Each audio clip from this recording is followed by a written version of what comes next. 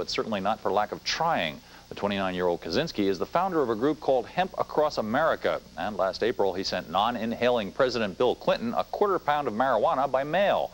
Kaszenski was hoping to be arrested for that act in order to challenge the constitutionality of laws prohibiting the use of marijuana, a natural herb which has medical uses in the treatment of afflictions ranging from glaucoma to AIDS, and the decriminalization of which has been recommended by such conservatives as William F. Buckley Jr. and former Secretary of State George Shultz.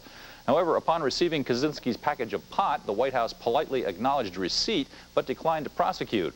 So Kaszenski recently mailed off a half pound of marijuana to Clinton, along with educational literature and a pair of hemp fiber jogging shorts, all neatly wrapped in a U.S. flag.